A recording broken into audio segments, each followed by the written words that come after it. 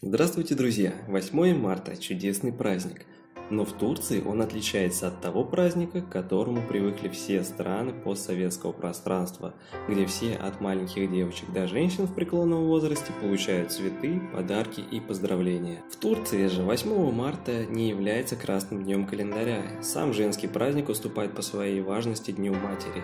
Здесь этот праздник не ушел далеко от первопричин его возникновения – Спустя годы женщины все так же продолжают за что-то бороться. В этом году в Анталии перекрыли улицу от пляжа Коньялты, кстати говоря, об этом пляже у нас есть видео на канале, до Актюр парка в связи с ежегодным планируемым шествием, на котором женщины обращают внимание общества на свои проблемы, от насилия в семье до травли представителей разных меньшинств. В руках женщин всех возрастов и национальностей находятся плакаты и баннеры, а также зонтики, о них мы поговорим чуть позже, так как с зонтиками связана одна не очень приятная история.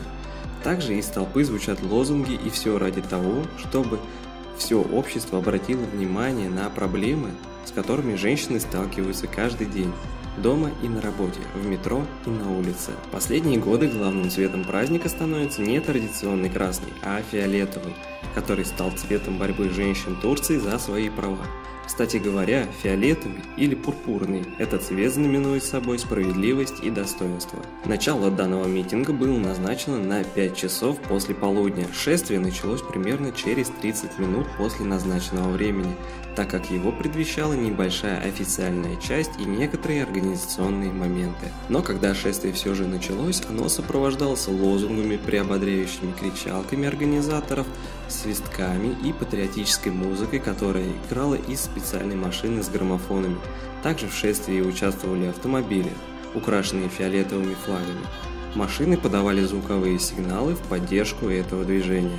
И несмотря на то, что погода в Анталии 8 марта оставляла желать лучшего, так как небо было пасмурным и дул довольно сильный и прохладный ветер, но людей, пришедших на данное мероприятие, это не остановило, так как их было довольно много.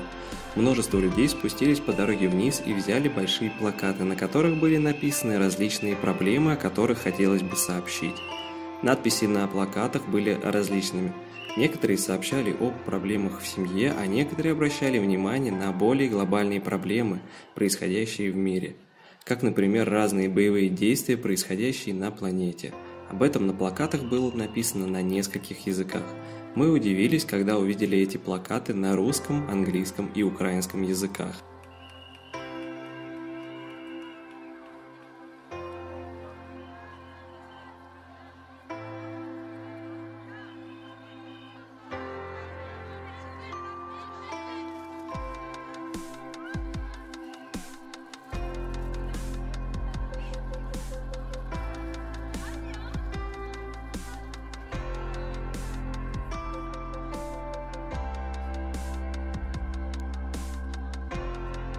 Само шествие длилось недолго, так как расстояние от пляжа Конь-Ялты до парка Актюр довольно небольшое. В парке людей, участвующих в митинге, ждала развлекательная программа. Также перед началом мероприятия всем желающим раздавались бесплатные презенты, а именно зонтики, лицевые медицинские маски и закатные круглые значки. И в связи с этим возникло пару неприятных ситуаций – на этих кадрах видно, как машина с открытой дверью останавливается около группы людей, и оттуда людям выдают лицевые маски пурпурного цвета по несколько штук в пачке. Раздав некоторое количество пачек с масками, машина ехала вперед и останавливалась у других групп людей. Примерно так же дела обстояли и со значками – но с раздачей бесплатных зонтиков дела обстояли иначе. Здесь мы видим, как большое количество людей обступили машину и их становилось все больше, что затрудняло проезд этой машины дальше, к другим людям. Давка, которая собралась вокруг данного автомобиля, это не самое неприятное, что могло произойти. Некоторые люди старались брать не по одному зонтику, а пытались вытащить сразу несколько зонтов из рук людей, выдающих эти зонтики. Кто-то Получая один зонтик, убирал его и снова пытался взять еще. Сколько получится? За этим всем было неприятно наблюдать со стороны. В конце концов, не все люди, стоящие в очереди за зонтами, получали их из-за таких ситуаций. Последствия этого можно сейчас наблюдать. Группа людей увидели человека, прячущего большое количество зонтиков в мешок. Они подошли к ней и пытались поговорить, чтобы она отдала лишние зонтики тем, у кого зонтов нет. Но эта женщина была непреклонна. Она всеми способами говорила о том, что эти зонты ей нужнее, чем другим. Ее пытались образумить на протяжении всего подъема наверх, но в итоге ничего не удалось. Она так и ушла с пачкой зонтов, растворившись в толпе.